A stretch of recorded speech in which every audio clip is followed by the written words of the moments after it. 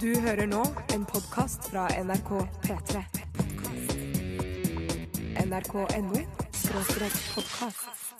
P3 Dette, dette, dette er dette er dette er Radioresepsjonen.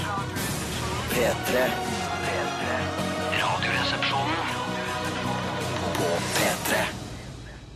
Veldig flinke musikere og popmakere der. Donkeyboy fra Drammen med låta Cityboy. Ja, flinke musikere, men hvis det oppstår en unntakstilstand, f.eks. en krigssituasjon eller en eh, stor stor naturkatastrofe her i Norge, så er ikke eh, eh, altså gjengen i Donkeyboy de jeg hadde følt meg tryggest eh, sammen med, hvis du skjønner. Jeg skjønner Altså, jeg tror ikke de har de grunnleggende skills for å overleve f.eks. ute i flere døgn, eh, eller hvordan sette opp en gapahuk osv., eller hvordan eh, ta ned et stort hjortedyr for å kunne spise.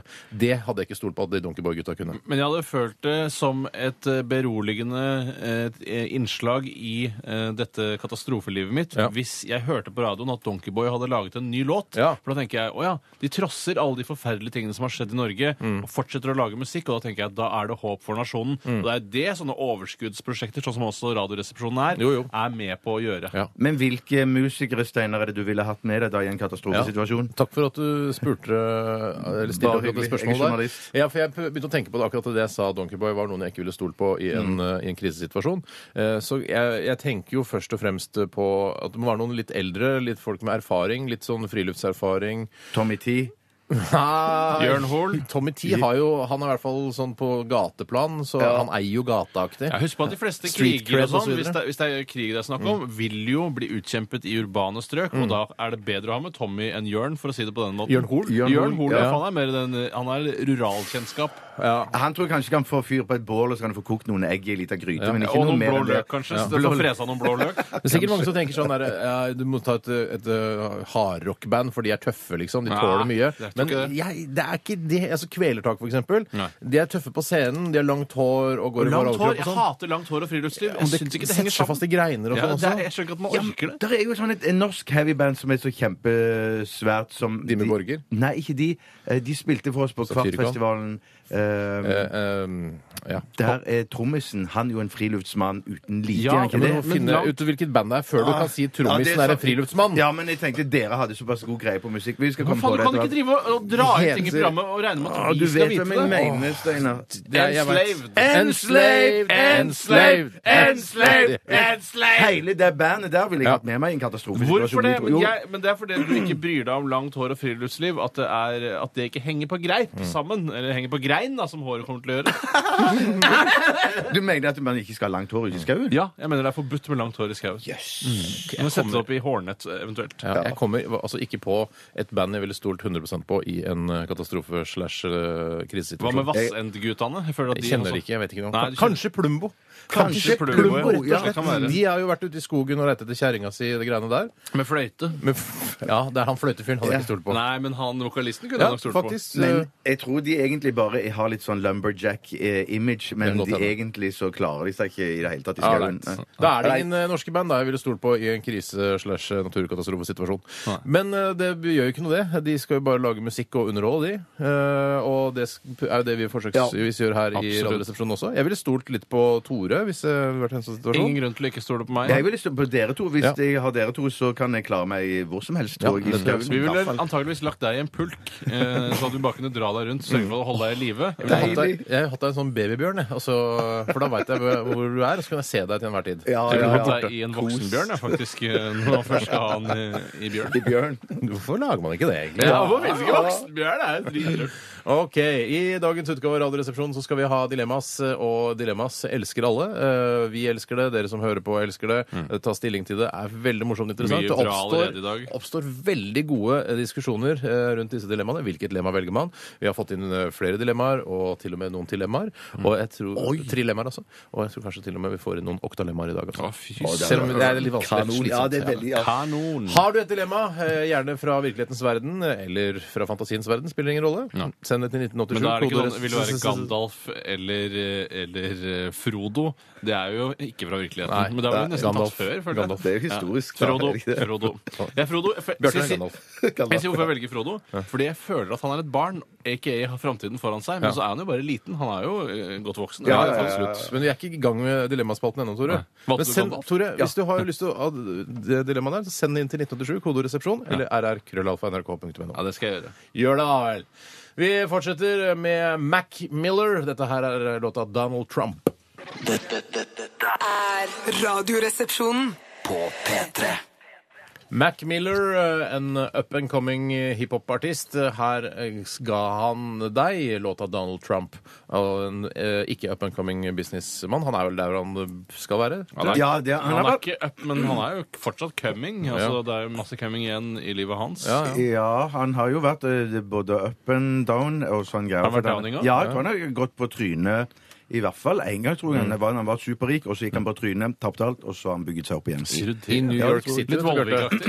I New York City, der du aldri har vært, men som du, vi skal dra en dag. Oh, ja. Eh, Så da har han en svært sånn eh, svær Spir. bygning som heter Trump Tower, er ikke det? Ja. det? Ja. Svært. Der skulle Du du skrev jo gullbokstaver. Ja. Tenkte jeg har vært bare fått sett det, Bjarte, før du dør. Jeg jeg har bare sett det på TV3, tror jeg. Da har jeg sett i det Apprentice. Der Ja. viser de jo det bygget Du har sett det på TV, ja, men tenkte å se det i virkeligheten. Oh, Ja. åh, Også på TV3 og så er det så uh, uklart bilde. Ja. Eh, og derfor stemmer er det, altså New York er mye klarere enn Ja. det Ja. Ja. Kan vi dra på den der Seinfeld-kafeen òg, da? Ja, ja, det ja, ja. Ja, Tom. Steiner, da. Dit skal vi hele gjengen. Er, det- er det Tom Steiner? Ja, ja, Tom Steiner. Er det den samme som Susanne Vega synger om? For det er jo Tom's Diner. Jeg har ikke Den hørt heter jo ikke Tom's Diner i Seinfeld. Nei, det gjør den ikke, men den- den heter jo ikke restaurant heller, som det står på lysskiltet utenfor. Det må jo hete noe mer. Men hvis det er Vi Tom ikke på restaurant, restaurant. For det er jo den Susanne Vega-låta. Faen, Ja, ikke ja. heng deg opp på det, da. Han har sikkert tatt feil òg. Jo mer du henger deg opp i, jo mer mange sinte mail Ja, får men det er vi. mange som tenker sånn Å, to- visste ikke Det var gøy. For det er ganske gøy fun fact hvis det er tilfellet. Ja, men Ja. Susann Vega, hvor mange er det som er opptatt av henne, egentlig? Nå ly- det blinker masse lys i Susanne panna. Vega. Masse- Nei, det blir for gammelt. Nei, er det Susann Vega? Ja, det, ja. Fy søren. DNA-remix. For er ikke det noe med at hun, de, de sier i den sangen at de bor i etasjen over Ja. eh, Eller in the second floor. Second floor, ja. Ja, men er- snakker du om nå. ja, Luka, ja, det er en Ja, annen det er en jævla møkkalåt. Ja, det det er en forferdelig møkkalåt. My name is Luca. I live on the second floor. I live upstairs from you. Jeg husker jeg så på den videoen i Storefri sammen med kameraten min hjemme hos han da vi hadde en trekvarters tre kvarters pause eh, fra skolen. Ja. og da husker jeg vi var ekstra sinte pga. den låta. Vi hata den låta Ja, helt ekstremt godt. Mye. Vi skal egentlig ikke snakke så mye om det. Uh, hvis, eh, eh, hvis denne Seinfeld-restauranten er den samme som Toms Diner i Susanne Vega-låta, uh, så er det gøy. Hvis Flaks ikke, så så er det dumt. Nei, ja, det er veldig, Vi kan veldig ikke finne ut av det nå. Jeg kan fortelle hva jeg har gjort i løpet av de siste 24 timene. Ja. Gjør da. Eh, først bare eh, Jeg sier det og får lagt det til side. Mm. Spiste lasagne for å holde meg i live. Det er det som har holdt meg i live. Bra spist. Bra Mens spist. det som har, eh, har vært hovedfokuset mitt, Mm. er at eh, denne høyrepolitikeren som har blitt tatt for oppbevaring av knark Knarkehøyre. Narkotika. Knarkotika, ja. Narkotika, det er helt riktig. Og han heter jo Warlow. Warlow. Hva heter han til fornavn? da? Henning Warlow. Henning Warlow. Og det som har ført til at jeg eh, har tenkt veldig mye på den norske hiphopgruppa Warlocks i det siste døgnet. Ja. Og sunget særlig da på den største hiten Flashbacks. Ja. Time is short and uh, goes fast eller noe sånt noe. Makes me never forget what happened in the past. Ja. Åpningslinjen fra den Så sangen. du, på grunn av at han heter Warlow, Ja. så har du tenkt på rappgruppen, rappduoen Warlocks, og så har du tiden. sunget på den sangen. Tenk deg det. Ikke på det på past. Det er sånn man begynner begynne å tenke etter. Når man ja, plutselig begynner å nynne på ting. For helvete synger jeg på den sangen. På! Fra 1997, en av eh, mine favoritt-hiphop-låter. Jeg liker jo ikke sjangeren hiphop i det hele tatt, men den eh, klarte å stikke seg ut av sjangeren og treffe eh, meg. Time is upon the screen. What happened in the past? Ja. Hva, hvor, hva, hvor er Warlocks henne nå? Er Ja, det, Jeg vet de de er jo Er de tvillingbrødre, de Warlocks-gutta? Ja, jeg har Ok, lest litt om. T-Rock og, og Hightech, eller hva det Ja, heter. og- ja, nei, fy søren. Men, du kan men det var i så- hvert fall eh, Jeg var litt inne på nettet, for jeg har hatt, helt, vært sykelig opptatt av Warlocks eh, det siste døgnet. Og da så at det er flere som har stukket ut eh, og, og startet sine solokarrierer, blant annet Kevin. Ja. Kevin har, eh, har da en solokarriere. Har ikke hørt så veldig mye til ham. Har ikke blitt playlista her på Hawk, P3 så. Hawk heter han ene, og han andre Hawk. Øh, Hva heter han andre, da? Åh, jeg må Det var finne Men du, kan jeg si en ting? En, en personlig Kan si to betraktning om, et, om, om den saken der med han der Warlock-fyren i Høyre. Mm. At eh, Når jeg ser på i avisen og sånn, nettavisen der, så er det er liksom skandale. Erna Solberg tipper over, og, Mm. og, og Fridtjof i VG han b- b- det tar Fridtjof helt av. Fritterud, for å si det sånn. ut, ja. Og så tenk, men med en gang jeg leser den saken der tatt med litt narko hjemme i leiligheten, så har jeg blitt så blasert jeg nå at jeg, Jeg jeg, ble, ikke- jeg ble ikke så sjokkert. Jeg tenkte, jeg tenkte at det er, det er masse av de der folkene på Stortinget som jeg tenker røyker seg en tjall i Mm. ny og ne og kanskje har et gram liggende i nattbordskuffen. eller må sånn være greier. lov. Ja, Men det, er det, ikke lov. det er veldig men- irriterende at vi ikke vet hva slags knarko, knarkotika Er det ikke- Er det ikke amfetamin, da? amfetamin det er snakk Å, ja, om? er det Ja, amfetamin? ja, ja, hvitt pulver eller kokain kan det være. også. Bestevennen hans er en VIP-playboy, sto det i avisen. Altså en very import- important playboy Jeg tror det er important. Eh, Han er en VIP-playboy. Det sto det i hvert fall i avisen. Er det, altså, er det journalisten i avisen som har funnet på at han er en VIP-playboy, eller er det tittelen hans? Jeg tror det er- Hva jobber du med?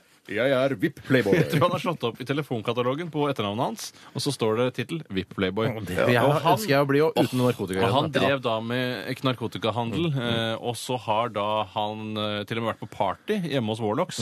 eh, Og der har de da? Warlocks? Nei, han. eh, Og da eh, Warlocks har ingenting med dette å gjøre, så vidt jeg vet. Nei. Eh, De har sikkert prøvd å eh, puffe The Magic Dragon en eller annen gang. De Check også. Rock a Hawk, heter de. Og i hvert fall, så de, de, de er venner, da, disse han eh, VIP-playboyen og Warlocks. Ja, akkurat. Så, Så han, han var da en, en amfetaminmann. Men ja. så han, men vet man Han har, han har liksom prøvd det kanskje en gang? Er det det? Eller det, det, det, alt det, det at narkotikaen har ligget hjemme i nattbordskuffen hans som er det kris, krisen krisen Ja, her? jeg tror det, Ja. men jeg, som jeg alltid har sagt, blir du en dårligere høyrepolitiker av å ta litt pepper innimellom? Nei, tror jeg. Nei, ja, ja. Nei, tror du. Jeg syns ikke noe om det, men jeg syns ikke at det er så stor skandale heller. Kan ikke bare få en bot, eh, og så En ferdig bot, med så ferdig med det. Jeg nulltoleranse Altså, Altså, Ja, det. altså, er du politiker er, altså, Jeg skjønner eh, Erna Solberg veldig godt. Du kan jo ikke ha sånne råtne egg i, i, i altså, i crewet sitt. Det er jo ikke det, Narkotika er forbudt. Ja, jeg mener også det er skjønner du forbudt. Ja, ja, jeg Kanskje det burde bli lovlig? Jeg, er så, jeg begynner å bli lei av Nei, men narkotika. altså, Nei, jeg er også lei av ting narkotika, som bare vokser på bakken, er det ikke det som er greit? Det burde være greit. synes jeg. Nedfallsnarkotika, det må være lov å ta. Ja, ti- Narkotika du bare finner, for eksempel. Ja, det kan jo ikke være forbudt. Nei, det kan ikke være forbudt. nei. Det er jeg enig i. Ja. Ja, ålreit. Det- Du har tenkt mye på Warlocks i det siste? Spiste lasagne også. Ja, spiste, det nevnte du. Bjarte, vi går over til deg. Bare for å ta det helt eh, det, det uviktige først, da. Jeg spiste kjøttdeig og ris. Nei, det gjorde du ikke. Nei, hva Nå spiste du? gjør du det. Slutt å ljuge. Si hva du spiste. Kjøttdeig med saus. Med saus. Ja, da spiste og du en rød- rett. En rett, ja. Ja, det Jeg har, heter kalt, ikke sånn- kjøttdeig. jeg, jeg har kalt den for eh, eh, Bjørtes gryte. Du spiste en rett som eh, hovedingrediensene er kjøttdeig og Ja, ris. eller karbonadedeig og ris. Og ja, jeg er litt, blitt litt fisefin på kjøttdeigen. Ja, det smaker bedre òg, egentlig. det Ja, det smaker litt mindre, faktisk. Mm, ja, det gjør det. Det smaker mindre. Skal du Ja. koke det lenge, så kan du Det som- bruke kjøttdeig, for det er mer smak i det. Ja, altså. det er mer smak i, det, Ja. i fett, ikke sant? Det er mer fett i kjøttdeig, øh, og så er det magrere. Det er akkurat som det er mer smak i oss enn det er i deg, for eksempel, hvis du skulle spise oss. Ok. Ditt fett begynner å bli litt harskt også. Ja. Ok, ok, ok. Ja, men i tillegg Det så latteren her, jeg, jeg, jeg, jeg liker det ikke. Ok? Jeg er ikke så glad i det. Ok? Ok. Jeg bare noterer det. Så det, Jeg liker ikke latter. Det er ikke at du noterer det, for vi husker det ikke likevel.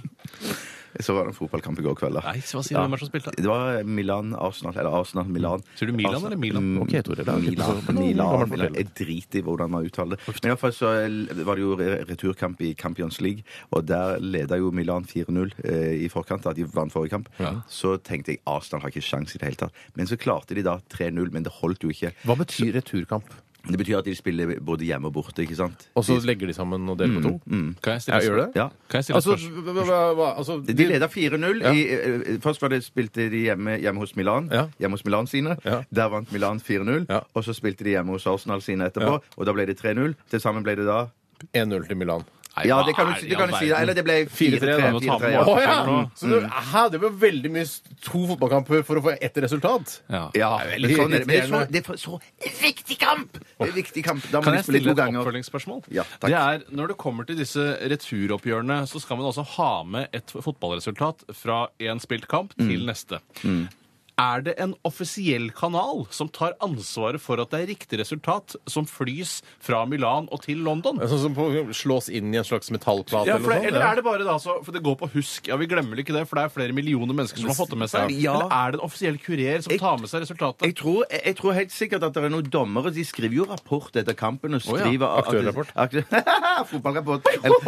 Nei, Ikke den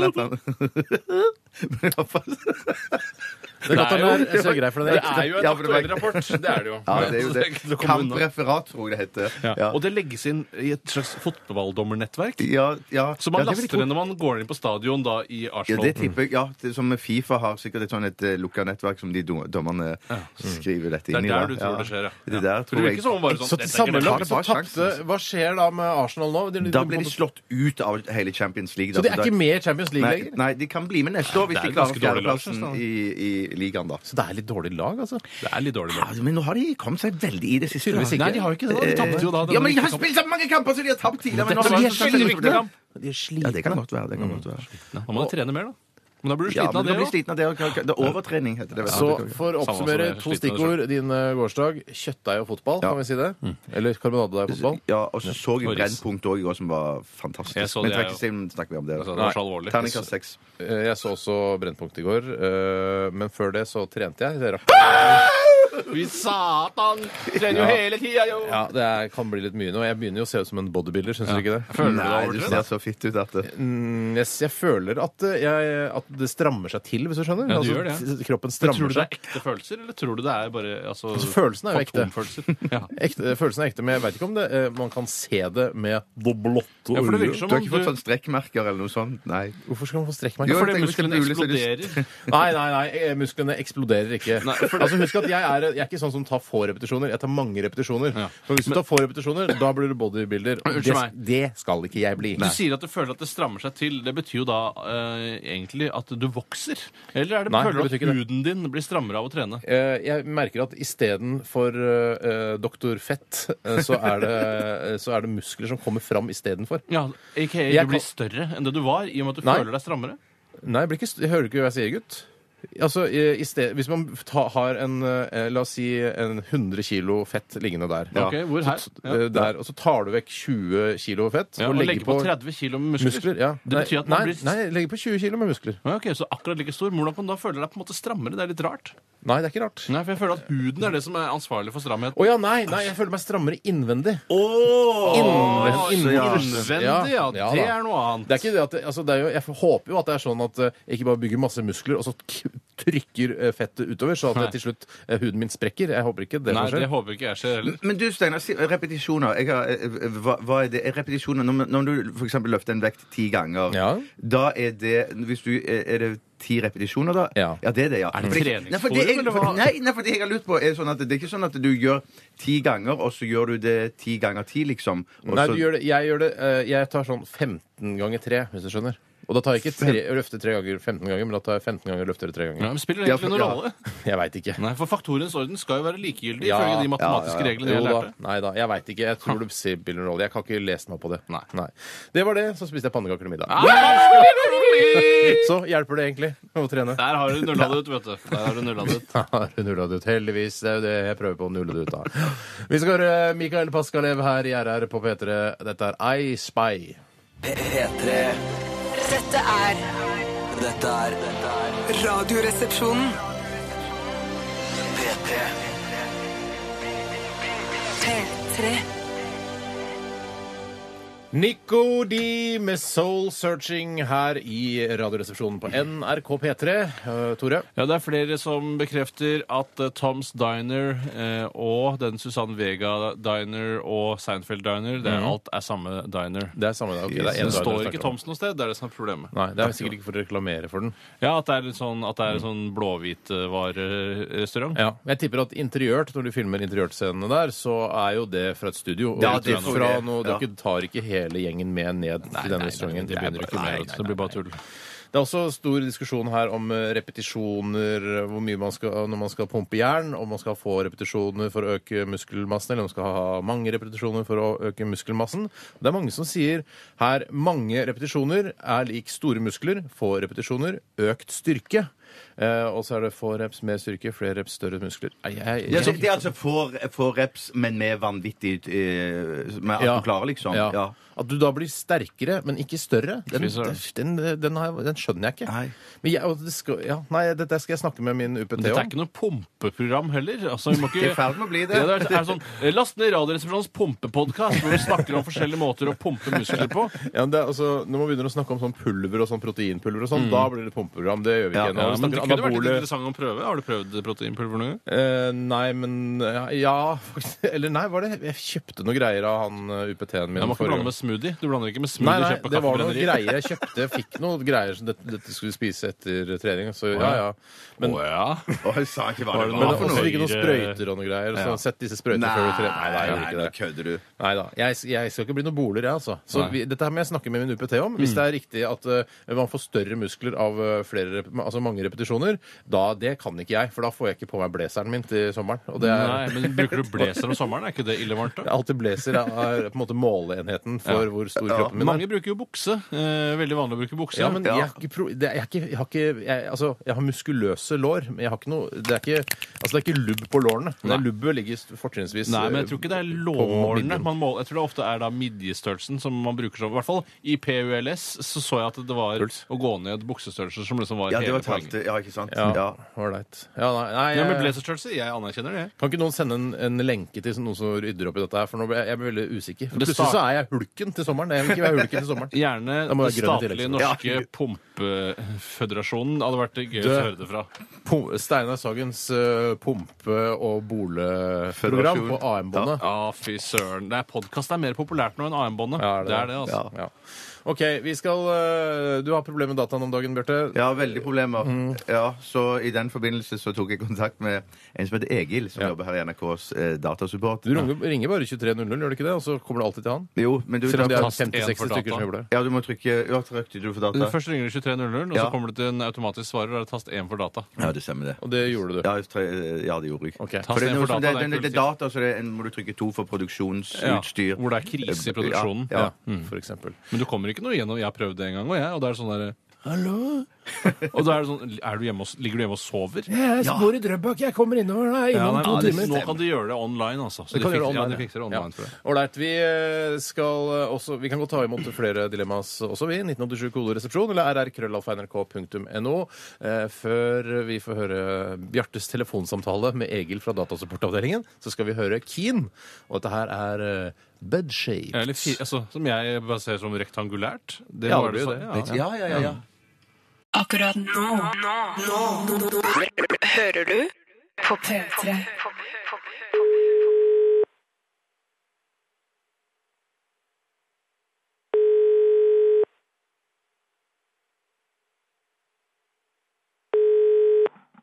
Egil Datasupport. ja hallo, Egil. Det, det er Bjarte fra P3 som ringer. Er du opptatt? Så du har tid? Ja, Jeg har litt eh, problemer med favorittene mine. Det er liksom eh, blitt borte alt i sammen. Jeg trykker på den fanen. Er det det det heter? Så, men så kommer det liksom ikke noe. Jeg har liksom ikke gjort noe spesielt heller. Det har skjedd før en gang òg. Men da kommer jo liksom alt tilbake av seg sjøl. Jeg har alt mulig lagra i favorittene. Nettbanken min, vg.no, nrk.no, aftenblad.no og Twitter og mange andre viktige sider som jeg er innom ja, daglig. Så hva gjør jeg nå, liksom? Kanskje jeg bare Nei. Nei. Ah, Kanskje jeg bare skal ta den tunge jobben og legge det inn på nytt igjen? Kanskje jeg bare skal ta en omstart? I dag gjør jeg bare det, jeg. Takk for hjelpen, Egil. Ha det. Akkurat nå, nå, nå, hører du på P3.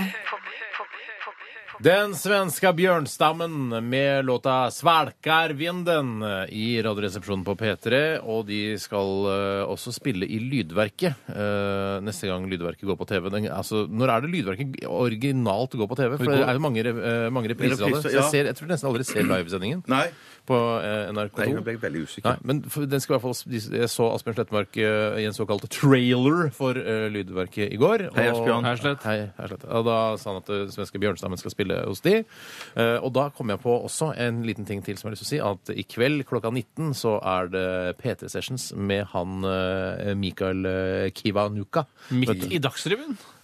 Eh, midt i Dagsrevyen? Det er på radioen, dette, da. Ja, OK. Ja, ja, på da er radio. det. Er greit. Så du må be- bestemme deg om du vil gå for radio eller TV. Du kan ha da. For bildene radio. av Dagsrevyen og lyden av Mikael Kuwanuka. I, Kiwanuka. Ja, Kiwanuka, Ja, ja. det er sikkert riktigere å si. Ja, Han går rundt i lokalene her, han Kivanuka. Vi kjenner han fra før, Tore, da vi var med på eh, prate-slash-talkshowet Skavlan for noen uker tilbake. Ikke prate om det igjen?! Ja, men det må jo være lov å ta Å, så Det er en av de største evenementene i TV-Skandinavia. Altså, I det vi har vært der. TV-Skandinavia? Ja, eller Skandinavia-TV, da. det velger du selv. Ja. Men da var han der, så vi ble jo ikke så godt kjent med han. Nei, vi ble veldig dårlig kjent med han. Ja, Dere, dårlig dere kjent med de der countryjentene der. Countryjentene fikk vi et veldig, Veldig godt øye øye ja. til. Mm. Veldig! Men du, First aid kit. First aid jeg, jeg er kit så heter det. kynisk. Jeg har, First aid kit First heter aid kit. Kan vi ikke snakke gjennom gangen?! First aid kit. Er jeg sur? Litt. Ja, det er litt sur. Men bare si at eh, når jeg hører på sånn som Bjørnstammen og sånn, så er jeg så Svenske. eh, f- Svenske, ja. Mm. Kynisk og gammel at jeg tenker Når de starter et band med så mange medlemmer, Mm. så må de jo tenke på så lite tonopenger det blir på hver det er enkelt av de. sjukt. For det er det jazzist-problematikken. dummeste jaga Ja, men da er jazzist-problematikken. det- Det er det dummeste du kan gjøre. Det er vel sånn, så vidt jeg har skjønt, så er det bare noen få jazzist som får skrivepenger for å lage låtene, mens de andre bare må ta til takke med det man tjener kanskje live, med den rare fordelingsnøkkelen de har der. Ja. Og kan hende det er sånn i Bjørnstad nå at det er sånn Svante Gustavsson, han har skrevet alle låtene, mens de andre bare er med litt De, har, de jobber i barnehage og i fotobutikk på si. Ja. Men jeg ser eh, Lars eh, Horntvedt på gata, Hei, som Lars. Hei, er Lars. han som skriver det meste for uh, Jaga sist, i tillegg til at andre bidrar også. Altså, Ja, han, ja, ja, ja, han ja. er liksom Ja, hovedkomponisten. helt sikkert. så ser, han ser ikke sånn rik ut, han heller. Nei, han Ja, ser ikke Han ser ikke noe rikere ut enn de er andre. fattig stil. Er fattig stil. Veldig fattig Ja, stil. fattig stil. Jazz, fattig stil. Ja, Ja, det har de, altså. Fattig jazzstil har de. Kjøper mye brukte merkeklær og sånne ting. De er ikke så opptatt av å se så rene For de er bare opptatt av musikken. Musikken, musikken kommer Det i er det. første, eh, i første rekke. Og Alltid. Tønsberg, da, ikke minst, er de også veldig opptatt av. Tønsberg og musikken kommer i første rekke. Jeg tror musikken først, og så Tønsberg. Det tror jeg. Ja, Men så. Bomringen rundt Tønsberg er det verste de har. Verste de vet. OK, vi skal sette i gang med Dilemmaspalten. Nå, nå, nå, nå, nå, nå hører du på P3. Ja, da var vi i gang med Dilemmaspalten. En eh, av eh, de mest populære og mest eh, lengstlevende den spalten. Mest langlevende, Tusen takk. Jeg kan ta begynne med et dilemma, jeg. Det har kommet inn fra Father Mucker. Hei, Hei, father Mucker! Han jobber i Hotmail, og han skriver 'være politiker som blir tatt for', semikolon, narkotika eller gi penger til venner. Og da sikter det altså til Warlock, som har brukt narkotika. Kan ikke si hva han heter. Han, hva heter? Warlow. Henning Warlow. Warlow. Henning Warlow. Eh, Han har oppbevart narkotika, eller Audun Lysbakken gi penger til venner. Mm. Og det jeg føler det er en vesensforskjell her.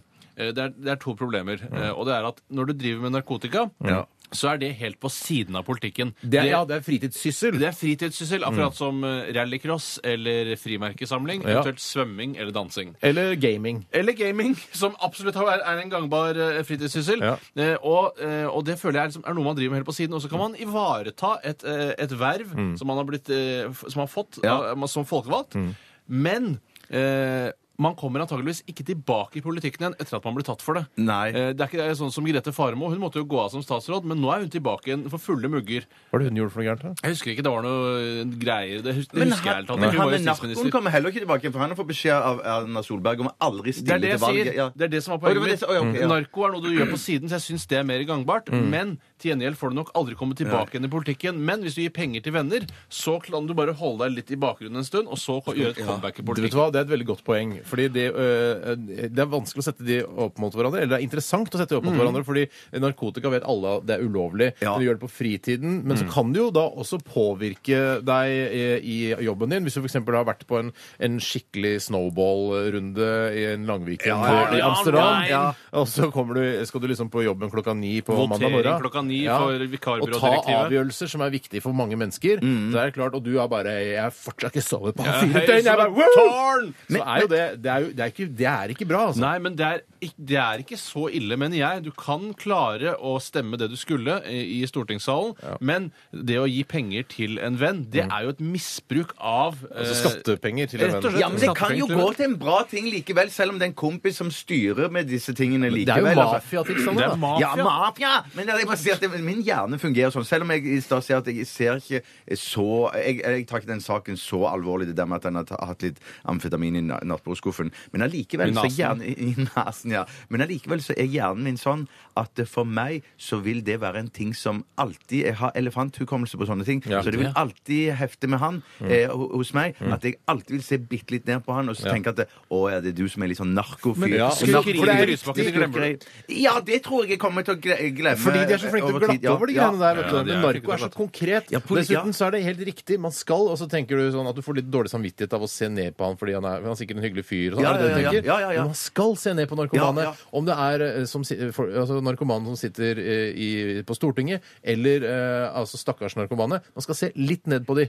For det er viktig at de, de, Man kan ikke hylle de. Nei, jeg skal ikke hylle de i det hele tatt. For jeg rives mellom det på samtidig. Jeg tenker liksom at han, han, han, han har, Det er jo bare et par gram. Men allikevel så er det sånn en annen side av meg ja, som ser ned på sånn Syns du er en idiot som En holder på annen med ting dette? som man ikke skal glemme, er at eh, man forringer jo mangfoldet i Høyre ved å fjerne da den ene narkotikamisbrukeren som er der. Ja, kanskje han, Eh, Mens altså, han alle andre partiene har sine eh, narkomane eh, fortsatt Men er ikke alle sånne transfolk som går i sånne hvite klær og så- Transpersoner? trans, Nei, sånne Nei. trans-parties Ja, sånn, ja. med sånn glowstick og alt sånn. sånn. Jeg har alltid tenkt at det var Høyre- og Fremskrittspartifolk. jeg. Ja, det er nok kanskje det. Altså. Ja. Det er nok det, Men du altså. har jo mer altså du, eh, SV og den litt mer sånn radikale gjengen er jo litt mer sånn pottur, ikke sant? Så ja, ja, kanskje ja, ja. eh, Høyre og Frp er litt mer Cola-folk. ikke sant? Ja, for det, eh, SV-folka de hører på Pavement mens de sitter i en sånn, eh, sånn kondemnert bygning og røyker pott. eh, Sitter på en sånn gammel skumgummimadrass. Ja. Mens de andre har litt penger og drar på Hyperstate og arrangerer. Det er litt mer tak i det, enn Ja. det Ja. hvite knarket enn det brune knarket. Jeg Hva går var, for, ja, hva var dilemmaet? jeg går for Ja, det var enten eh, knark eller eh, Jeg gi går, penger. jeg går for knark. Jeg så får jeg bare finne en annen eh, Det er vanskelig. Jeg, jeg går Det er veldig faktisk vanskelig. for, eh, for gi penger til en venn, ja. Det gjør jeg du skal tilbake i politikken, din kyniske jævel. Jeg? Nei, men jeg vil Ja, ikke du ha det, da. narko Jeg vil ikke ha narko på mitt rulleblad. Jeg syns bare det virker så døvt. Nei, jeg gir penger til en venn, ja. Ja, jeg òg.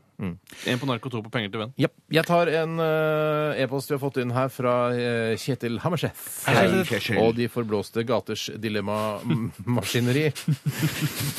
Ja, Kjetil eh, han, eh, han bidrar, han altså. Eh, Han skriver her Måtte ha med deg 25 katter på jobb hver dag. Altså Du må passe på de. Du kan ikke drepe de, skriver han i parentes.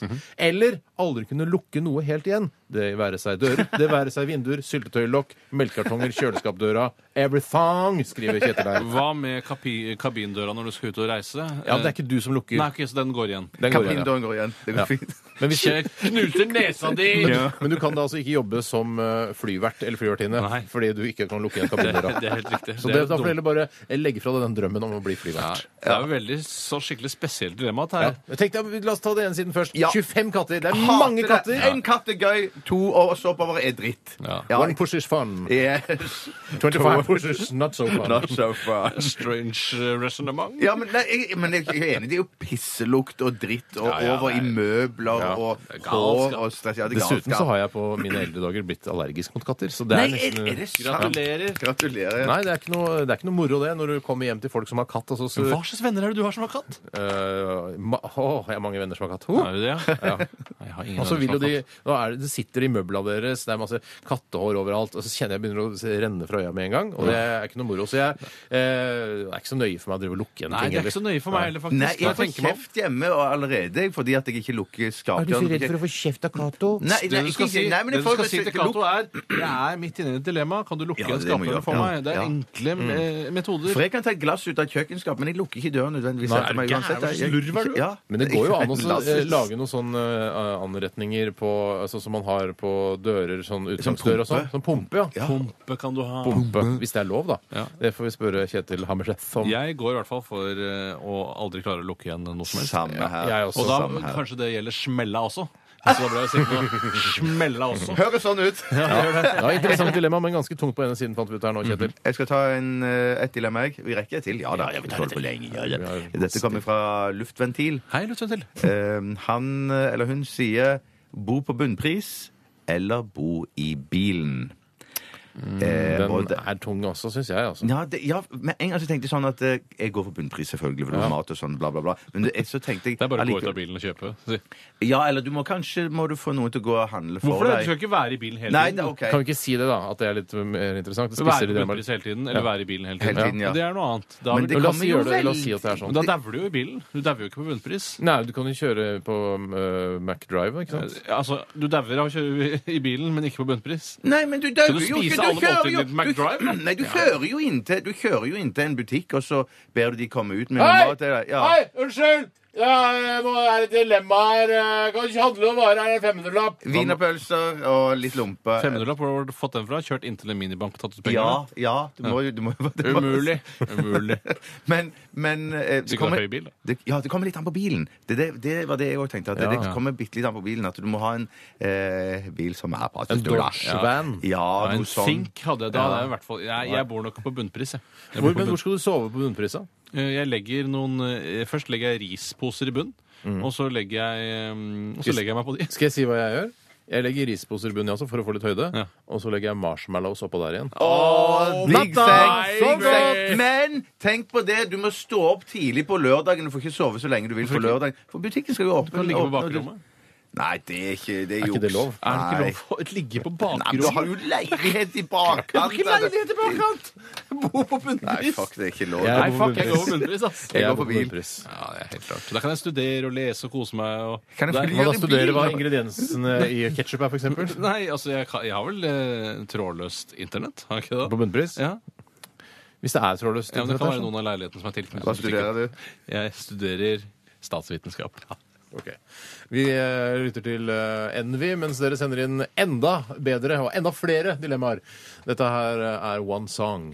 P3 Dette dette Er Dette er Dette er dette er Radioresepsjonen. På P3 P3. Ja, da var vi i gang med runde to av Dilemmaspalten i dag. Og Bjarte og Tore har huket huket, haket av mange gode dilemmaer. eh, Uthevet skrift for å gjøre det tydeligst mulig for dere som hører på. Og eh, gjort disse tiltakene for at dere skal få en lettbeint opplevelse, kjære lyttere. Ja. Skal jeg bare ta et? Ja. Um, det, dette her kom også faktisk fra luftventiler, beklager det, men det er ganske bra, dette her. Være verdens morsomste og dummeste, eller verdens smarteste og kjedeligste? Det, er- det, men man sier jo det at øh, hvis man vet veldig, veldig mye Altså, altså man er veldig, veldig smart. Ja. Oversikt over det meste. Unnskyld, jeg må stoppe deg der. Ja. Vet mye, eller er er også kunnskapsrik, eller klok? Jeg tenker at du i eh, det, eh, La oss si at du er, du er klok, øh, men at du da opparbeider deg ganske mye kunnskap også. Ja, ok. Ja. Altså at det ikke bare er Jeg er bare en klok fyr. Jeg er bare klok. Ja, for det å bare være klok tror jeg ikke gir noe særlig. eh, For å være helt ærlig. Jeg tror ikke du nødvendigvis gjør suksess av bare å være klok. Nei, men du kan være flink til å resonnere deg fram til ting, f.eks. Ja, men Det hjelper ikke det å sitte nede i et kumlokk og resonnere seg fram til ting heller. Man Nei. må jo ha en viss kunnskapsbase. La oss liksom. si at du har Jeg tror vedkommende mener at du har veldig mye kunnskap. Jeg tror det er det kanskje Jeg er ikke så sikker på at det er det vedkommende mener. skjønner du? Men hva, hva, hvis du sitter her, Tore, Ja. er veldig, veldig klok, Ja. Men utrolig kjedelig. hva skjer da? Nei, jeg kan f.eks. fundere ut løsninger på ting som ikke har vært fundert tidligere. Matematiske problemer. eh, Men kan du gjøre det uten, klimakrisen og kan, kan du gjøre det uten Nei, å ha jeg føler, La oss si man mattekunnskaper? har et basisgrunnlag da, som Ja. både den eh, kjedelige og den morsomme har. Eh, eller den kloke og den eh, Altså, man, man kan det samme. Ok. Altså, hvis Men- man er kan du- utrolig kunnskapsrik, så er det på en måte, da kan man jo finne seg et yrke hvor man føler at man passer inn. fordi Hvis man vet så mye om kan det samme, eh, så er egentlig dilemmaet bare eh, Vil du være dum eh, Nei, vil du være morsom eller kjedelig? eller kjedelig? Mm, ja. Og da er jo valget ganske greit. Ja. Så jeg tror jo det, for å legge godvilja til eh, denne Nei, nei, luftventils-dilemmaet nei, nei, nei, nei, nei. Nå, for nå har du sagt at eh, hvis det, det skal være det samme i kunnskapsnivå, er fortsatt den ene utrolig eh, klok, eh, og den andre er utrolig morsom. Så det er fortsatt kjedelig eh, og utrolig klok, eller morsom eh, og eh, Hva var det? Og dum. Og, og nei, Ja, og dum, ja. Ja. Mm. Men fordi eh, Da syns jeg det er, det er litt For vanskelig det for, dum meg. er jo ikke det motsatte av kunnskapsrik. Nei da, jeg skjønner det, men eh, da, Nå, ja. da For jeg, jeg skjønner ikke helt hva Da skjønner ikke jeg hva klok Nei, for er. Nei, klok er at du er utrolig flink til å resonnere deg Kan fram man til et svar. klok, er det det man du kan sier? være, Jeg mener man kan være født klok. Noen lærde strides jo en del om det der. Ja. Men jeg mener jo, fordi det skal være to motsetninger, så må det være det motsatte av dum. Og det motsatte av dum er ikke kunnskapsrik. Nei, det skjønner jeg. det skjønner jeg. Ja, mm. For det skal jo være motsetninger her, Ja, ikke sant? mm. Det er kjedelig versus morsom og eh, dum versus klok, som på en måte har hver sin Det er, det er bra ting på hver sin Ok, kant. ja. Ja.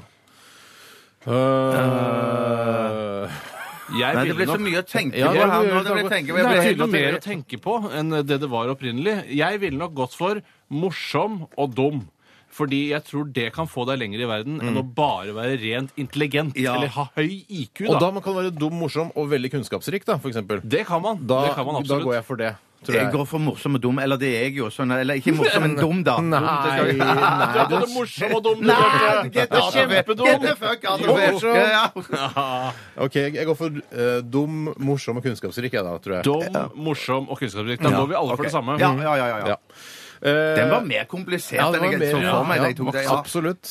Vi skal ta en SMS her fra Lars Magnus eh, Dursniff. Hei, du, Hei, Sniff. du sniff.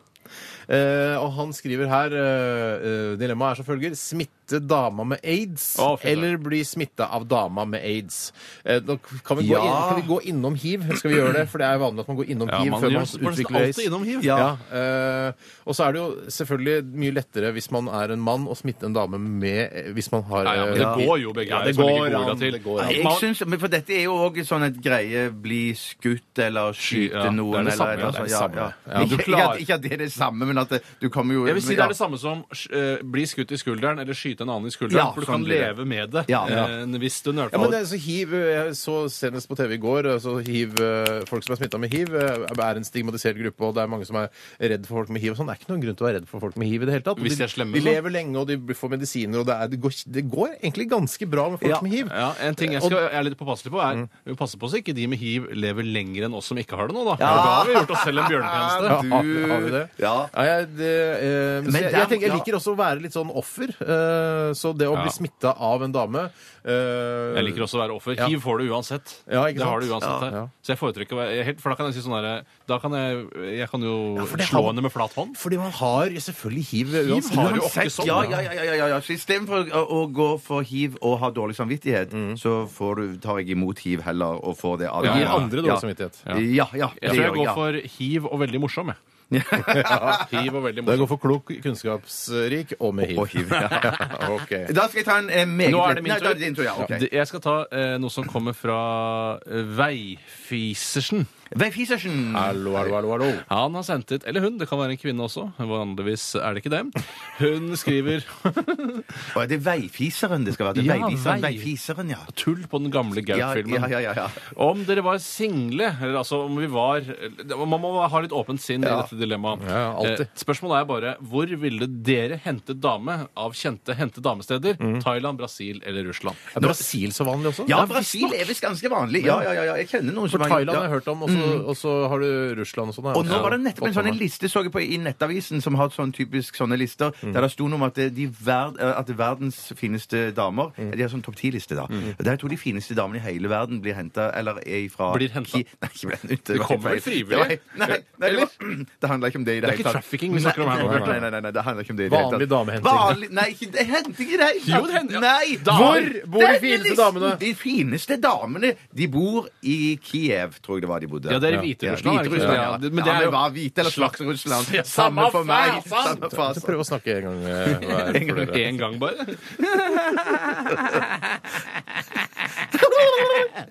Nei, nå skal jeg, unnskyld, unnskyld, Steinar. Jeg kan si Men så bare- mye som ja, og det rare var det. Jeg husker ikke hvor Brasil og Thailand Du husker ikke hvor Brasil er? Jo, det husker jeg. Hvor er jeg det? går for Brasil. jeg. Det er i Sør-Amerika en plass Ja. der. Du er går, på, går for Brasil av rumpen, gjør du ikke det? Ja, det er nok derfor. Det er er det, vet du. Ja, ja, ja.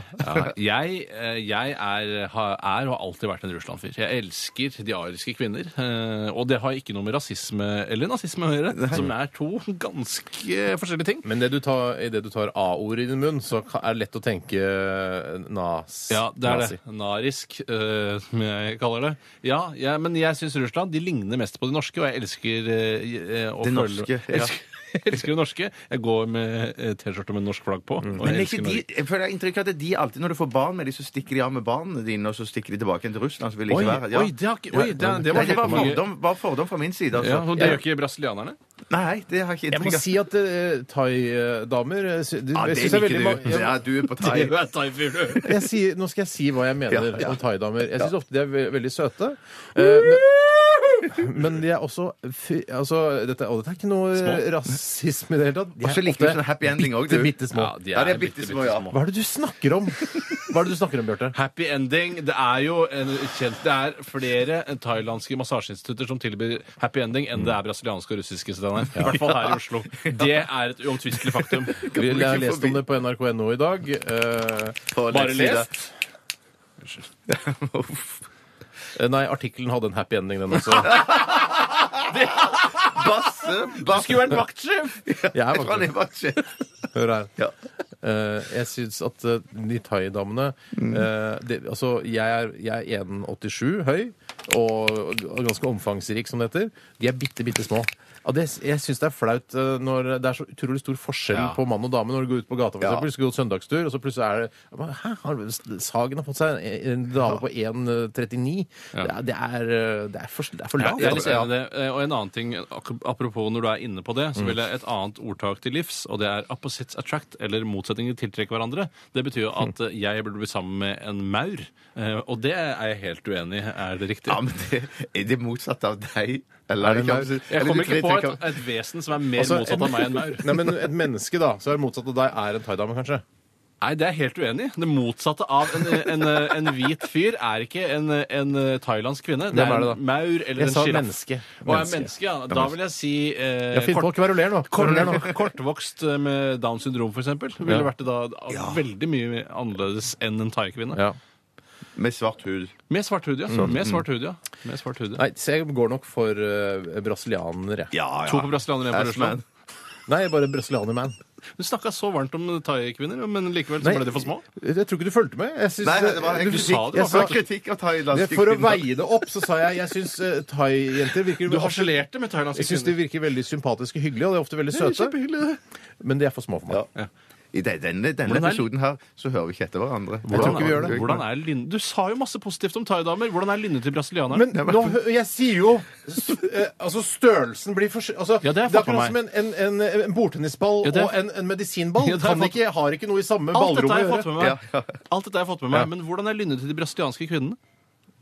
Har man noe Jeg har ikke Og noe jeg tror det, inntrykk de er det. veldig, de er veldig sånn Hva heter det sånn eh, fyrig Nei, ikke fyrig, men sånn eh, Bruker alltid fyrre når man ja, kommer fyr, til ja, men ja, t- ja, skal Jeg vet ikke helt hva damer. fyrig er. Si at de er fyrige, da. Ja, de er heite både i humør og alt. så Jeg tror det, og så tror jeg de er veldig sånn De blir veldig glad, og så når de blir forbanna, så blir de megaforbanna. Men har de ikke mye mørkt hår i korsryggen? Ja, men det er jo ikke noe Er er det et problem? Kan vi ikke kjøre sånn Brazilian waxing på dem, da? Ja, det er der det kommer fra! Ja. Der det kommer fra, ja. Det er nasjonal, Sør-Amerika. nasjonalwaxingen. Det er nasjonalwaxingen, det. Åh, dette Rart- er rart Team Me. program. Ja, shut up. Show me. P3 Dette, dette, dette er Dette er dette er Radioresepsjonen.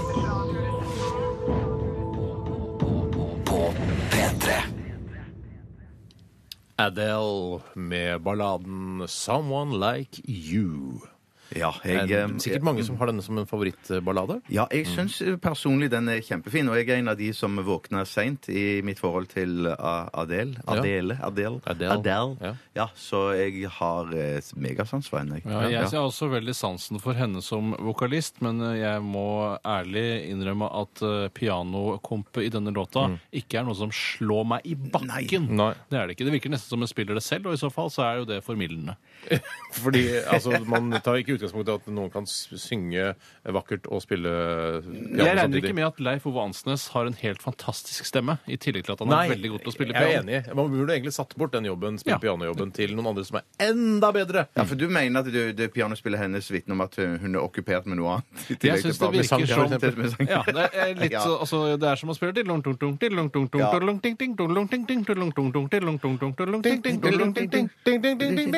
Ja, som- er. Ja. For når du hører på slutten på denne sangen her, så høres det ut som eh, pianospillet høres ut som det venter på at det skal komme mer sang, men så kommer det ikke mer sang, Nei. og så bare løfter hun hendene. Ja, jeg tror det er det hun har gjort. For det, det hun er vant til, er å spille live, og da har applausen begynt for lenge siden.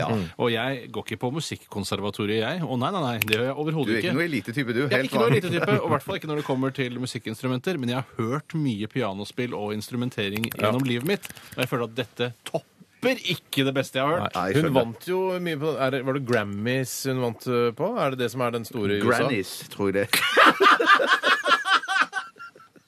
Jeg har ikke tenkt på den humoren før. Jeg, jeg, jeg, hva skal jeg si Du fikk en Granny? Da jeg, når jeg sa Grammy, så tenkte jeg faktisk Granny. Tenkte jeg, jeg håper ikke Eller jeg håper ikke noen plukker opp og tenker på Granny. Nei, nei, nei. nei. Men Eh, noen fordi, fordi det er jo altså, en bunnløs vits, på en måte. Nei, det er bare gam, eh, det, Granny er, jo da eh, grandmother Ja. på engelsk. Grandmother, er det det det heter? Grandmother. Ja, for, men jeg tror litt av grunnen til at jeg lo så ekte og spontant av Granny, er at jeg forbinder det med porno. At det er altså Granny-porno. For jeg bruker, aldri, jeg bruker nesten aldri Granny eh, ellers. I porno. Jeg bruker- Men i porno så Nei, men da bruker du ser det. jeg det dukker opp. Jeg ser det dukker opp. Ja, det er, altså, det er en, eh, en kategori som man kan velge. Absolutt. Dette vet folk. Ikke skap deg, Steinar. Du vet det like godt selv. Nei, jeg, jeg, sier, jeg, bare, jeg bare kre- bekrefter at Jeg tror det er en noen kategori. lytter og tenker sånn Aha, en kategori Ja, som men du, heter altså, du Granny. har sånn for eksempel oral, og så har du granny. ja. Ja. ja, det er sånn, ja. Det er for å sette Og så har du kategori er missionary, ikke- er det ikke- missionary eh, position. Nei, Ja, det tror jeg ja. ikke. Det har jeg aldri sett som en kategori. Nei, men det burde det vært. Ja, det burde det Folk absolutt som vært. er fans av missionary position. Men heter det kategori? Heter det ikke sjanger? Som i at det er krim? Nei, nei, For sjangeren er Det krim. porno. Oi, det er ikke, oi, det er Ja, ikke og sånn kategori- krim, Ja. krim, skrekk, granny Horror. Nei, det er ikke sånn. Nei, det er ikke det. Har dere noe noe jeg så Granny? en veldig god Granny-film i går. Bare eldre folk. Jeg skulle gjerne leid en Granny. Hva anbefaler du på Granny-fronten? Eh, nei, så det blei noe moro ut av det likevel, da. Men eh, å, å si at Grammy Altså si Granny istedenfor, Ja, ja, det det, er jo egentlig ikke noe. Nei, Nei, var det for er, det er egentlig ikke en vits i det det hele tatt. noe, det Hvis, noe hvis, man skal være, hvis man skal være humorkritiker, så er det egentlig ikke Men jeg kan Er det fortelle da er det. Ja. hun, var, hun fikk flere priser på Grammys. Ja, nå håper jeg det var Grammys og ikke noe annet. Ja, men det er først og fremst for komposisjon. Eh, ja, det var Beste album, tror jeg. ja, og du får jo ikke det uten god komposisjon. Gjør man ikke det, nei? Nei, det tror jeg ikke. det tror jeg virkelig ikke. Men nå hørtes det ut som du sa at man ikke kunne få Grammys bare med å synge en annen sin sang. At det er du som eh, utøver, du som Men nå- sanger. nå- jeg, altså, det var ikke det jeg mente. Eh, Jeg mente at eh, hun har laget en versjon av sine sanger, da. Ja, ja, ja, ja, på den måten. Nå fyller vi sendetid, og det syns jeg vi gjør kjempebra. Kan- er for at vi daler bitte litt der et lite øyeblikk. Men, men jeg skal bare si, jeg har lyst til å si noe for min egen del. Og det at litt senere i sendingen i dag, i dag på så skal vi ha noe som heter Fleipolini eller Faktorama. Ah, og det, den programposten skal jeg lede i dag. Og da, da, i dag lanserer jeg helt splitter nye, nesten kanskje provoserende regler. Jeg elsker provoserende regler. Oi, oi, oi. Nå... Husker du, du drev og dumma deg fullstendig Ja. ut forrige gang, Steinar, men noe ver- utrolig vanskelige regler. Jeg skeit meg ut, jeg. Ja, men det er litt inspirert allikevel av Ja. det Steinar Ja, gjorde jeg syns det er moro Ja. å drive og tukle med Kan det. du si noe om de nye reglene i Fleipolin eller Faktorama? Det er veldig mye opp til deltakerne selv. Ja, så bra! Jeg shit, det kan elsker jeg det si. og hater det samtidig. Det er litt sånn som åpent kontorlandskap. Ja. Elsker du, på hvilken måte elsker du åpent For da kan kontorlandskap? jeg se hvordan folk ser ut når de konsentrerer seg, og det syns jeg alltid har vært så Ja, fascinerende. det er i så fall det eneste, for ellers så syns ta- åpen kontorlandskap, det er terningkast én. Altså, jeg, jeg elsker dere gutter, men jeg skulle ønske jeg hadde mitt eget kontor. Jeg er helt Nei, men vet du hva? Nei, men Hvis det kan få være tåpelig nå og, og Ja, diplomatisk du er jo ikke alt, si. Nei, nei, det er sant. Det er derfor du Men- jobber her. Tåpelig og diplomatisk, vil du si det er stikkordene om hvordan du er som person? Ja, langt på vei. Langt på vei to av mine Sterkeste egenskaper. sterke- La, la, la guttungen snakke. Han er ikke guttungen. Men det jeg skulle si da Når jeg sier eget kontor, så mener jeg eget eh, kontor med dere to Ja, inkludert. For det mener ikke jeg. Nei, jeg mener jeg mitt heller. Oi, er eget det kontor en- en- med dør som jeg kan låse Oh, og no trekke ned fucking way. Jeg rullegardina. mener og åpen sitte og se kontorlandskap på med Grammys. alle andre. Det hater jeg. Men bare oss tre på et kontor, helt konge. Jeg kunne altså. blitt Det- med på det som en kompromiss. det kunne Ja, jeg. bra. Ja, altså. Oi, oi, oi. Vi skal ta en siste runde med, med dilemmas. Eh, Men før det så skal vi høre Madion. Dette her er Ikarus i RR på P3.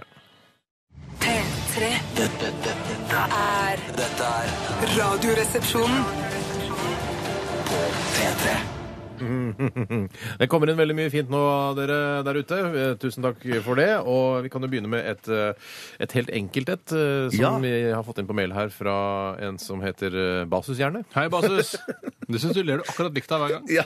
Virker som du har resatt deg selv hver Ja, gang du hører den. nei, ja, jeg, men jeg blir aldri lei av akkurat den der. Synes jeg, sånn, ja. Det er litt morsom. Altså. Bruker mer tid på å diskutere navnet.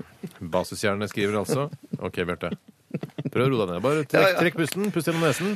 Tåpelig og diplomatisk. Husk Inn gjennom nesen, ut gjennom munnen. Sånn, ja. Ha barnehender eller barneføtter?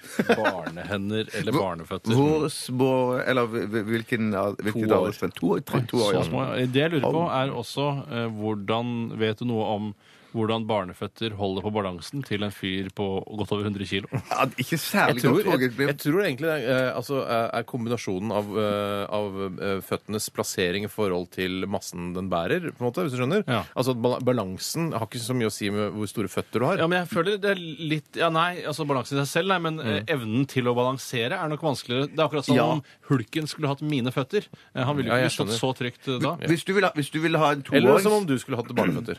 Eh, ja, nettopp. Det var bare det det samme. Ja, eller som hulken skulle stå på, eh, eh, skulle stå på knappenåler, da, for eksempel. Men jeg tror ikke det er noe problem for hulken, egentlig. Tror du ikke det er noe problem for hulken å stå på Det er vanskeligere å stå eh, på ett bein, men når du har to knappenåler som, som føtter, så klarer du liksom å holde Ja, balansen. der tror jeg du tar Dette, feil. tror, tror det er Ja, feil. jeg tar litt dette- feil, du tar litt Litt feil. feil, Har- har- Kan dere stå på stylter, eller? Er det Ja, jeg er ganske god på det. Ja, det er er ganske ganske dårlig. god- jeg er ganske god på det. Men det, Fy søren, det er jeg veldig tror at tærne for eksempel, er jo helt avgjørende for balansen. Derfor tror jeg også at størrelsen på føttene er viktig. Ja, ok. Eh, men eh, Jeg er, til dels enig. jeg er enig. altså Ja. Knappenåler er, blir noe annet igjen. Men, men eh, når du har Vondt f- sånne små føtter, da, bitte små barneføtter, To år. eh, toårsføtter, så er jo de, de er kanskje en ja, Hvor lange kan de være? Ti Fire, fem, centimeter? Oi, ti centimeter. Ja, noe det er sånt. såpass svære. ja. Ja, det, ja noe sånt. Ja, ja, jeg da er det jo litt.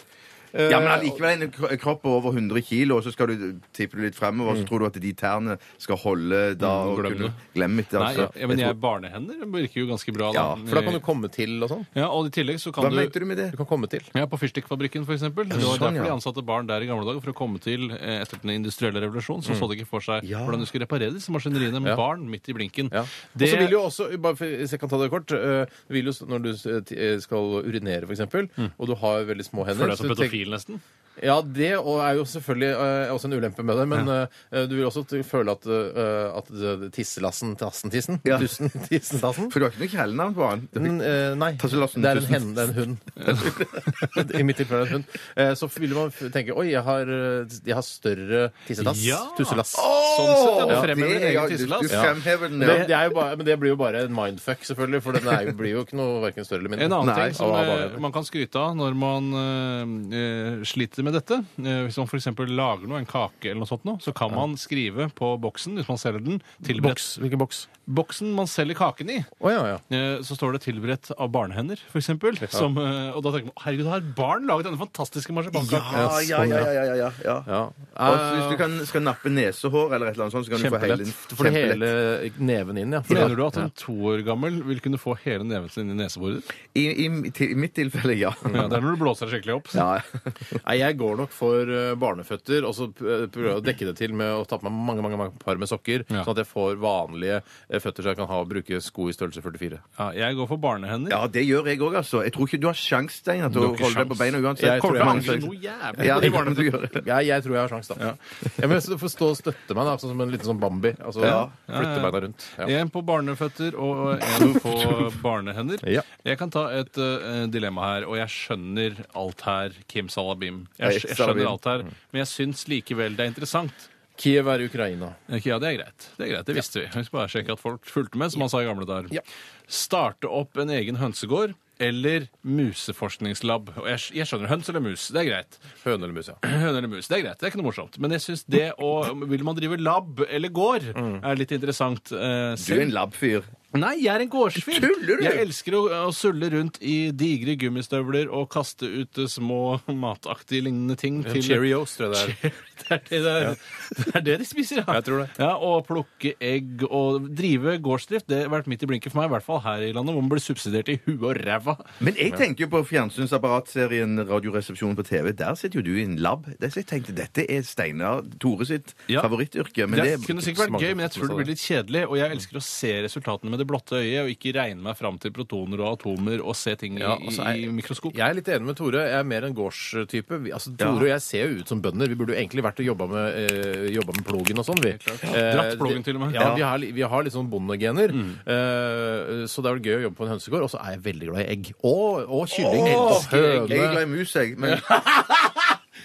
det, var, det var dårlig humor. Beklager. Jeg mente ikke gå. at jeg- jeg mente ikke å le. ikke sånn. Nei, du skulle ikke ha ledd. Altså. Nei, det skulle jeg ikke. Men vi elsker jo, jeg elsker både høne og mus. Jeg, det er ikke det. Men mus har jeg ikke noe glede av, bortsett fra da å Men, forske altså, jeg skjønner hva du prøver Har du på her ikke- nå. Nei, jeg prøver ikke Du elsker mus. Jeg elsker mus. Det er ingen som elsker mus. Altså dyret mus. Det er ingen som elsker Nei, mus. det er ikke det. Du kan være glad i å ha et Katter. kjæledyr som har mus, men du elsker det ikke. Det er bare en mus. Ok, Man kan ikke elske mus, men høne, det kan man elske. Man kan elske, eh, man kan elske frit, frityrstekt kylling. Det kan man elske. Ja, det er jeg med på. elsker jeg i hvert fall. Ja. Nei, ikke nuggets, for jeg synes det er så stygt tilberedt, men ren, renskåret høne, det kan jeg tenke meg. Tre på høne, da. Hønsegård. Tre på-. Du er bondetamp, du òg? Ja, jeg, jeg ble det. Jeg gikk over. Tåpelig diplomatisk bondetamp. Ja. Jeg tar et uh, dilemma som kommer fra Lisa. Hei, Lisa. Hei, Lisa. Hun spør nå, Trond Granlund hadde en uh, låt en gang som het Lisa. Lisa, Lisa, alt har jeg lært av deg. Han hadde òg en låt som Naboen vår på Holmlia var, het Lisa. Jeg var Lisa. i Lisa. at hun var lesbisk. Hun lærte meg å sykle.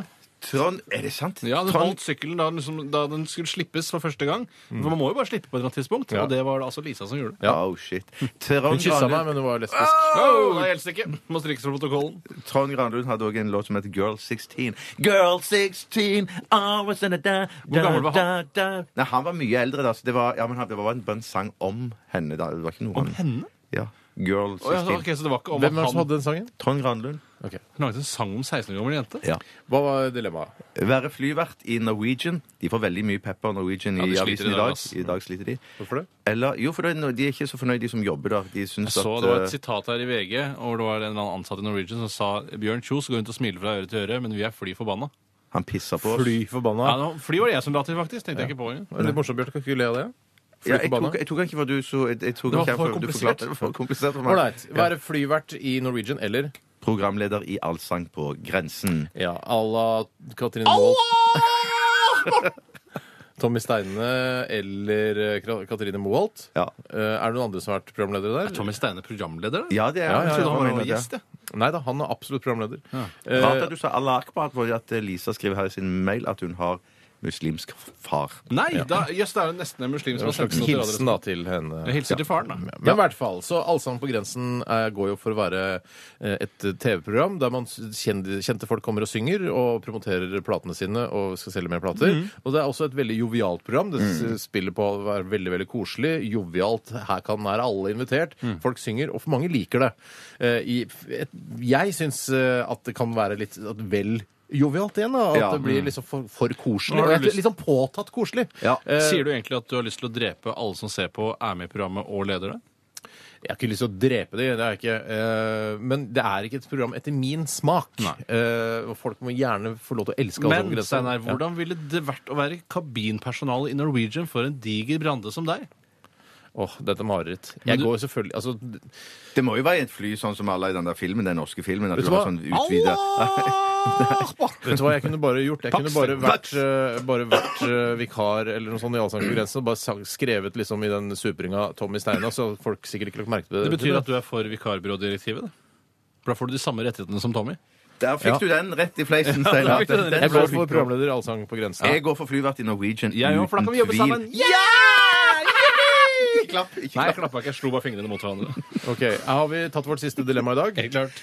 Jeg hadde egentlig et til som jeg Ta synes var et siste, veldig da. gøy. altså. Nå må vi konsentrere oss litt. Vær litt flinke, da. Ja, vær- ja, Ta det skikkelig alvorlig, dette her. Det kommer fra Kib Solini. Hei, Kipsolini. Det er vanskelig å være alvorlig når det kommer så morsomme navn inn. Ja, det er det.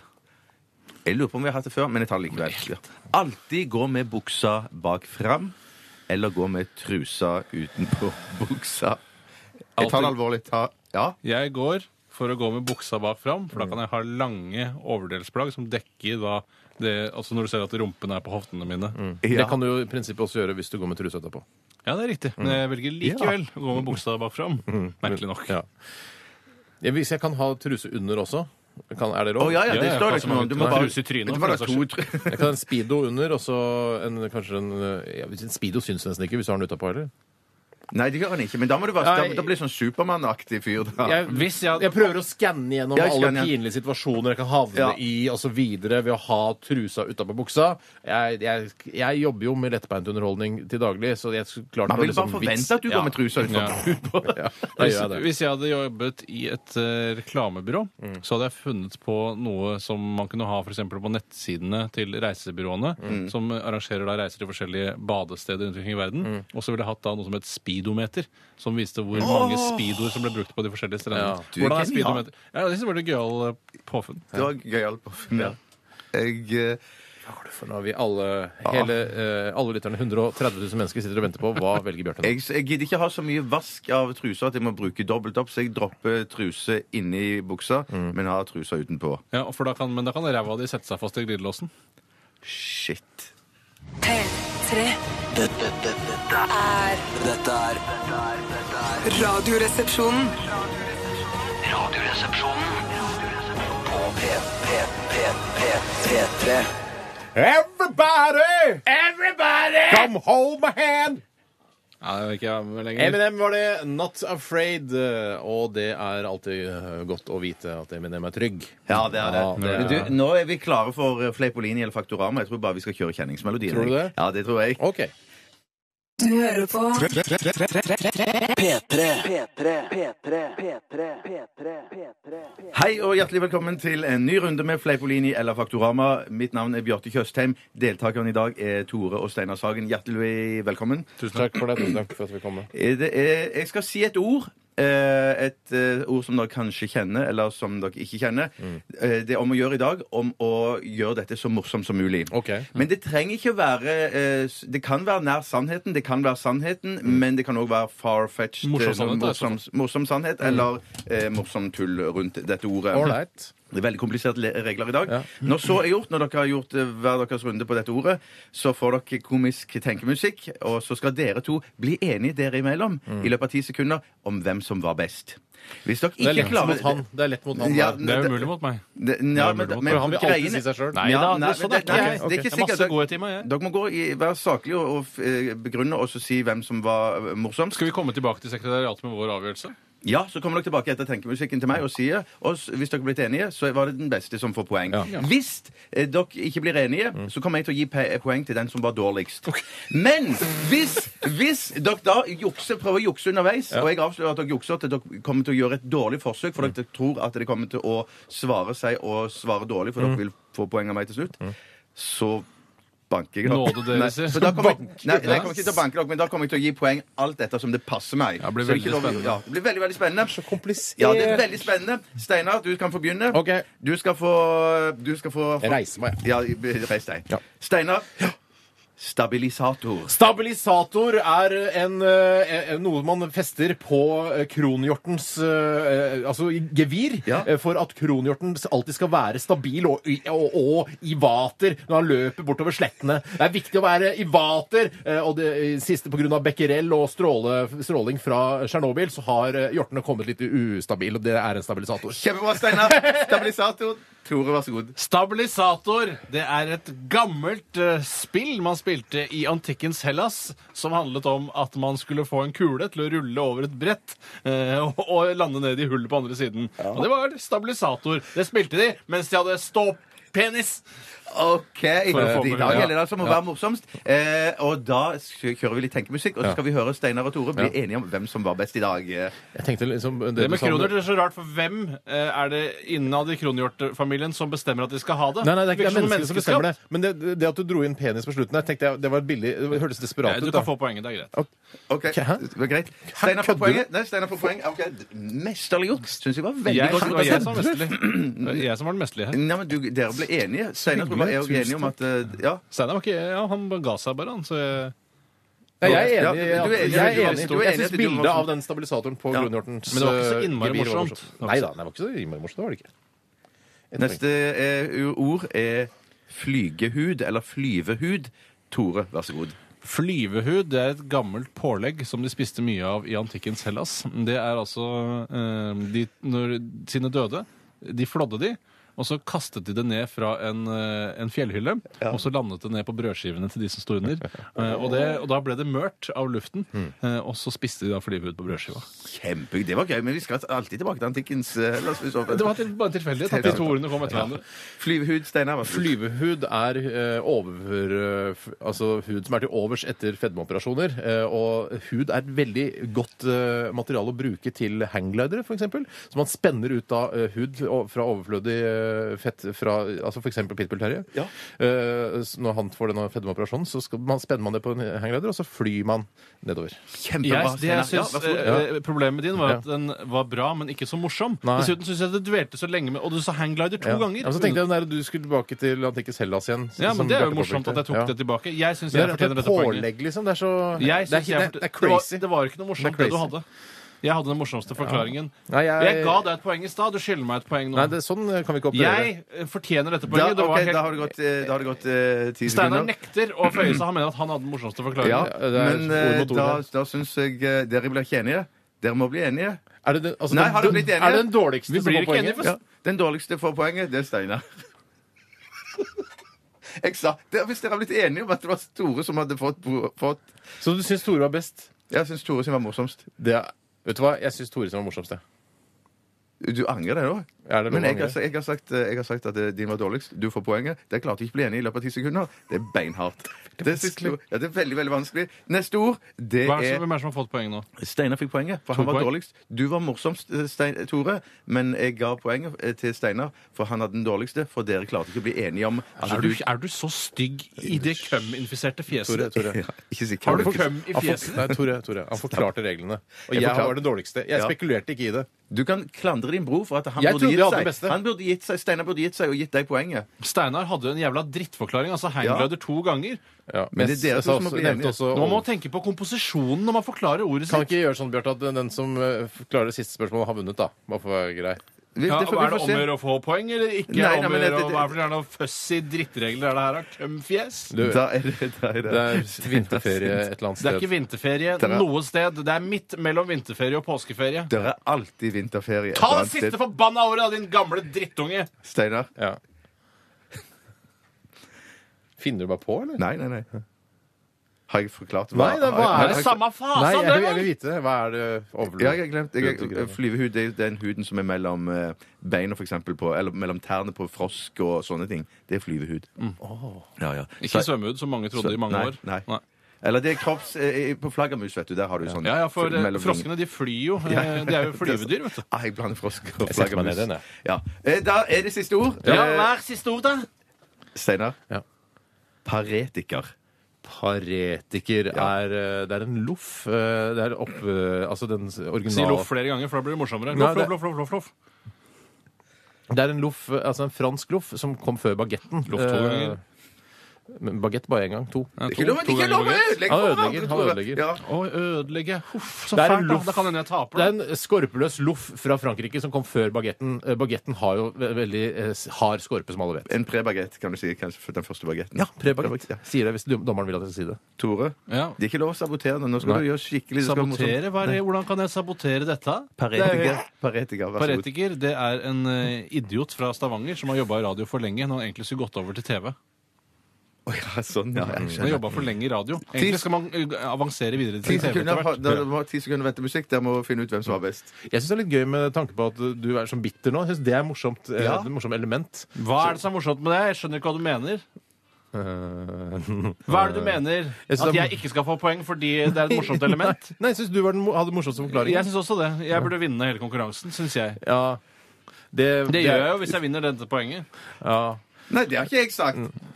Nei, vel. dette er vanskelig. Det er veldig, Dere sa jo nettopp at den som Nei, det får er dette Steinar! poenget Nå Kutt musikken, kutt musikken nå. Det er jeg som leder denne programposten her. Det virker Ste- ikke sånn. Jo, det er jo det. Og har du tatt kommer med lederutdanning reg- i Forsvaret? Eller? Det virker så Steinar, innmari Steinar, flink. Steinar kommer, innsi- kommer med forslag til regler. Kan det ikke være sånn at neste vinner hele konkurransen? Ok. Nei, det er ikke sånn. Tore får dette poenget, for det var den dårligste forklaringen. Eller dere ble ikke enige. Han var den dårligste. Steinar vant eh, denne ukens Sleppolini eller Faktorama. Jeg er glad, Tore altså. skal skytes. Jeg er veldig glad Tore skal Ja. skytes. Det kan ikke bli sånn at det blir sånn en splid og Nei. en vanvittig bråk mellom oss hver gang vi skal bare ha en liten konkurranse. Vanskelig. Jeg må stikke, jeg skal skrive oppsigelsen min. Ja, Tore, Ok, ha det bra. da, Tore, du skal få Jeg skal spandere lunsj på deg. P3 Dette, dette er Radioresepsjonen. På P3. Gautier og Kimbra med 'Somebody That I Used To Know' her i Radioresepsjonen. Eh, veldig mange regler i, eh, i Fleipolini eller Faktorama i dag. Det er, noe, det er en Altså Ja, det er en viss fare for at man kan rote seg bort i reglene, Ja, men er jeg mener at reglene jeg mener at, jeg mener, jeg, jeg, reglene i utgangspunktet var helt glassklare. Jeg sa det sånn som det var. Eh, Noen, det er ikke lov å spekulere i å være dårlig. Nei. Det slår jeg ned Ja, på. har jeg spekulert i å være dårlig? Eh, Jeg tapte jo. ja, Nei, men du det- du- du- men du pass- var litt dårlig. Så da kan man jo si Ja, at men jeg an- har på en måte spekulert i å være dårlig i og med at jeg tapte. Ja, men dere var jury òg. Dere skulle liksom bli enige. og du Jury! sa- jury. jeg, jeg, Yuri ja. Gagarin, Jeg, jeg, jeg, jeg kommer til å endre reglene. kosmonaut, ikke Ja. Nei, nei, nei, det er helt forskjellig. Eh, Jeg får bare én. får Bare én. Jeg skyter Bjarte. jeg. Er? Å, herregud, Tore. Er det neseblod? Nei. Jeg blør rumpeblod. Men det er mye farligere. Prisvinn radioprogram altså. Radioresepsjonen vunnet mange, mange Vi har ikke vunnet noen priser. priser etter den kommentaren. for å si det sånn. Nei, det har vi ikke. Det har vi ikke. Takk for at du hørte på oss i dag. Du kan også laste ned podkasten. Gå inn på nrk.no-podkast, eller gjør det direkte via iTunes eller via din smarttelefon. Det er kjempelett, hvis du bare gidder, da. Eh, vi er tilbake igjen i morgen. Eh, etter oss kommer Popsalongen. Popsalongen. Du kan besøke våre nettsider. nrk.no-rr. Der ser du eh, Spikkeskolen også. Ny Dette er- episode på fredag. Ja, ny episode, ja. Dette er The Black Keys og Gold on the Ceiling. Ha det bra!